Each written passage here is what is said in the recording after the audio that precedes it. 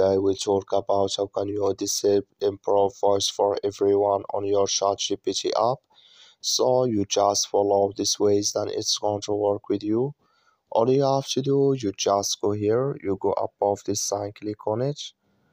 So then it's going to show for you a list like this. Then all you have to do next, you just go down, you click here on your name down here, just click on it so when you click on your name it's going to take you to this list.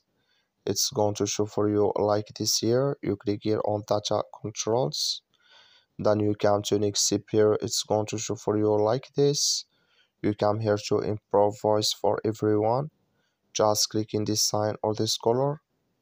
Like you see color it's going that's me improve voice for everyone. It's disabled with us now so that's all you have to do. I wish know you i get it. That's all. Thank you for your watching. Don't forget to support us by liking